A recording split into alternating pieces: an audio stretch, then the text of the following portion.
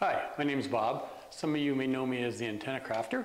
And today I'm going to take a few minutes to uh, demo how to put together the uh, 6 meter magnetic loop, the 6M-F, as sold through the VHF Loop website. When you receive the antenna, you'll get the main element, which is CNC cut, laser cut out of uh, 1 25th thou aluminum sheet. And you'll get a sealed bag which contains uh, the hardware that you need to complete the installation. All right, I'll move the camera around and over my shoulder and we'll get started. Before we get started with the assembly, we're going to need a few uh, basic tools. Number one, a Phillips head screwdriver, number two or so, a couple of pliers, and ideally a 5 8 and 9 16 inch open end wrenches. Adjustable wrenches will work fine. If you have to, pliers as well. Um, one other thing you'll need something to form the uh, feeder loop uh, on. Um, I'm using an aerosol can of spray here, which is about the right diameter, but a cup, a glass, tube, or something that will help you form a nice round circle. First thing you want to do is that when we cut these, they're CNC laser cut, and an artifact of the laser is that it will leave a little bit of a rough edge on one side. Uh, some people call it dross or slag or you know, many different terms. Um, so you're going to want to be careful and maybe take a little bit of sandpaper or file, or if you have a deburring tool and hit the, the outside, the one side, the outside, and the inside corners, uh, just to clean it up a little bit. Once you've got that done, you turn your attention to the uh, bag of uh, parts that it comes with. Um, what you'll have, I'll take them out one by one and show you what I do. this here is thinner gauge aluminum. It's what we make the uh, feeder loop out of. The first thing that I like to do is to twist the ends by 90 degrees. And essentially um, take the pair of pliers, two pairs of pliers, uh, with one side just at the approximately where the circle would end, and the other one about an inch away from that and give it a twist of 90 degrees slowly and gently. You don't want to rip the aluminum, it will rip if you're not careful, but you're going to want to have something like that. Do the same thing on the other side.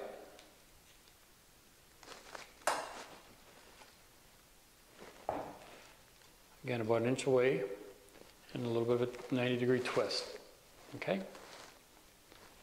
Doesn't have to be that accurate, just something like that. Then what you can do is you take your form, in this case I'm just using an aerosol can, just using it to kind of run, make a nice round uh, circle out of the uh, straight piece of aluminum. And then it'll be you know, something to that effect. We'll straighten it up once we mount it onto the antenna. Once we empty the bag of the other components, you'll notice that you'll have two capacitor plates they're identical plates.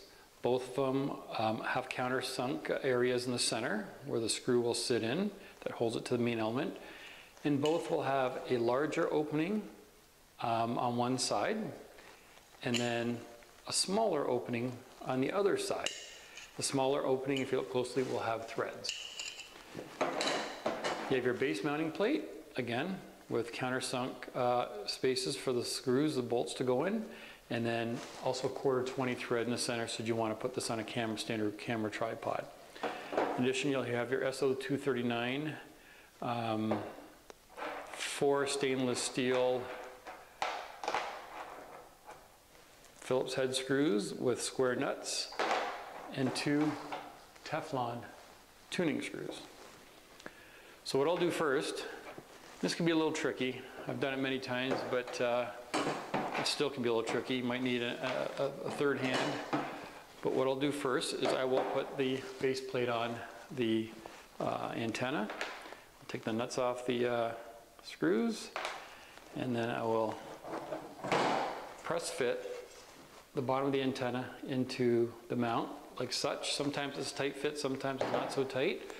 Um, once you have that in position like that, take one of your square screw uh, nuts and you'll see there's a square area that this fits into. It Can be a little tricky getting it in there, but once you get it in there, just try to hold it in place with one or two fingers. Take the screw up through the bottom, and then you can then tighten it by hand or possibly the screwdriver.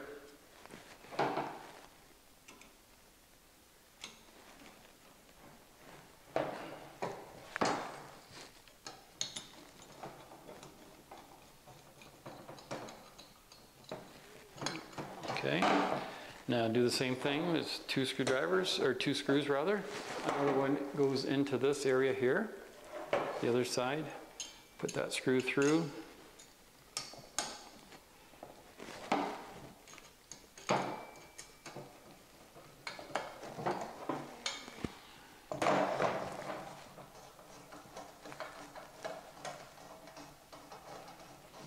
Once you have them both relatively uh, like snugged up, can give them a good turn and tighten it down so that it doesn't move on you. Okay. Next, we're going to basically do the same thing with the capacitor plates. Again, notice the countersinking on one side of the capacitor plates. They're going to want to face each other. In addition, the two big holes and two small holes, you're going to have them flipped around. So one big hole on one side and one small hole on the other side. So you want threaded on one side, um, on the far side, and threaded on the inner side um, on the other side of the loop. So essentially, again, we take our screw and nut, put that in there like that, take the nut, drop it through, and Again, the screw on this side.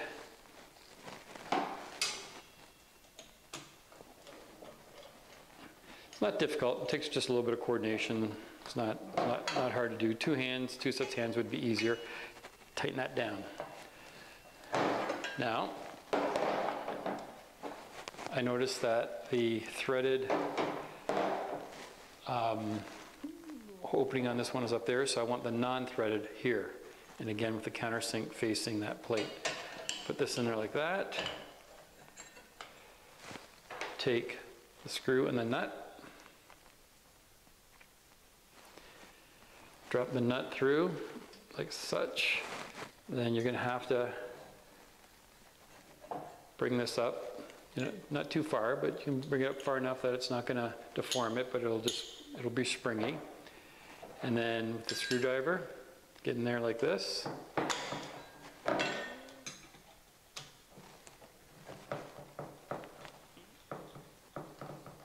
tighten it down. You want a really good connection on the capacitor to the loop. Good electrical connection, so tighten that down. And then tighten that one down. Next, and this is probably the most critical part, is the feeder loop. With your connector, un undo the uh, nut and take the two washers and you'll notice there is a, uh, a plastic spacer um, that's really crucial as well as there should be some, doesn't have to be, but on, on most of the antennas I will put a uh, piece of heat shrink on here just added insurance because what we don't want is the feeder loop to short directly to this um, for the first, uh, when we first put it on. So what we're going to do is we're going to put the feeder loop or the uh, connector through the main loop uh, mounting hole. Then the feeder loop on top of that, the big hole of the feeder loop goes on top of that. Now you take this white spacer and you want to get it all centered. You'll feel it snap into place because the idea then is that you want this first part of the loop that you put on to be floating and not electrically touching uh, the center of the connector here but it's going to be all shorted and connected to the main loop and, and to the braid or the uh, ground of the uh, connector. Next, you put on the flat washer, followed by the other side of the feeder loop, which now is going to be shorted to the uh, center stud. Follow that with the uh, other washer, then you can tighten this down, keeping everything centered. You want to be careful that this is not shorted out on the first connection, only the second connection. So if you were to check it out it, with a ohm meter, you would see it would be a dead short, and that's the way it's supposed to be. It just you don't want it a dead short until this second part is connected. Now you can take your uh, wrenches and tighten this down. You know, tighten this down fairly snug. You're gonna wanna, um, you don't want it coming loose on you. So, you know, pretty snug, but you wanna then maybe do it such that it's still loose enough that you can get in there and you can, you can shape this a little bit better. I made that a little too tight for shaping. If you, if I loosen up just a little, little bit, there, you'll see that I'll be able to uh, pull it out a little bit like that. And you can hold your fingers in there and, and you can continue to tighten it up. Um, but eventually, uh, you're gonna wanna get it as tight as you can. It Doesn't have to be crazy tight, but you just don't want it moving around. So that's kind of how it's gonna look like that. Lastly, take the uh, PTFE or Teflon screws, feed the screw through the bigger opening, and then you can start threading it into the other side by hand.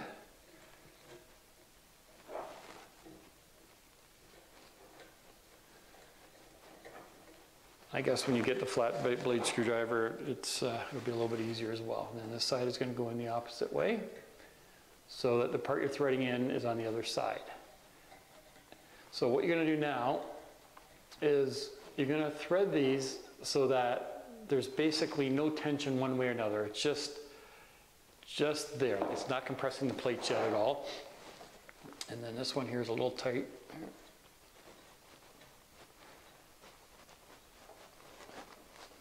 Okay, so the idea now is to adjust the SWR, or at least the center frequency, is manipulated by the distance that these plates are apart. The closer you get them together, the lower in frequency the antenna will tune. Where it's naturally resting here will likely put it above the six meter band. Um, so you're gonna have to adjust them slowly. I mean, we're talking a quarter, maybe an eighth of a turn each time until you get it to where you want it. Um, and that's basically how you tune it. If you have an analyzer, it's a lot easier, um, but it's not impossible uh, to do without one. So, any questions? I'm always available. Email, phone calls. Uh, let me know I can help. Any suggestions? Um, those are always welcome. Thank you.